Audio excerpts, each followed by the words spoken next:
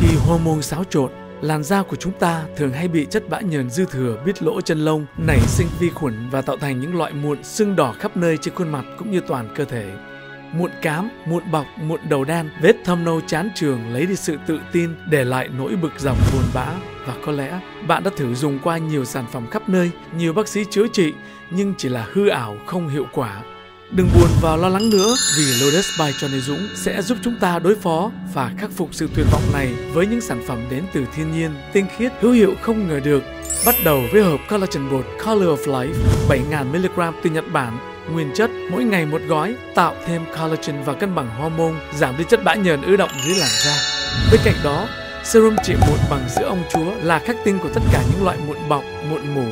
tan biến vĩnh viễn. Nọc ong và sữa ông chúa nhẹ nhàng đi thẳng vào lỗ chân lông diệt trừ vi khuẩn tan đi chất bã nhờn ứ động sưng tấy trả lại làn da mịn màng trong 24 tiếng. Một chút nghệ trắng lai sâm không làm da ố vàng xóa tan vết thâm đen trên khuôn mặt. Sữa dưới mặt của Lotus Organic tinh khiết, da ua hoặc nhân sâm lấy đi tế bào chết không tổn thương đến làn da. Giờ đây, làn da ghê sợ nhường chỗ cho sự sáng mịn, căng tròn, khỏe mạnh đầy sức sống yêu đời vì hiệu quả của bộ trị mụn hoàn hảo Acne Deluxat.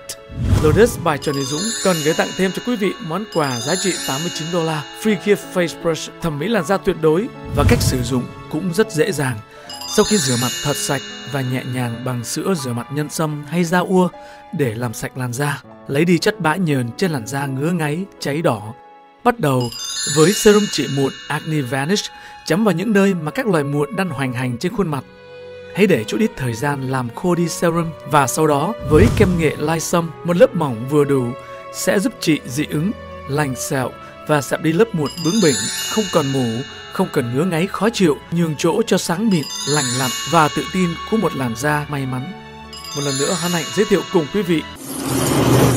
Lotus by Johnny Dũng, The Best of Life.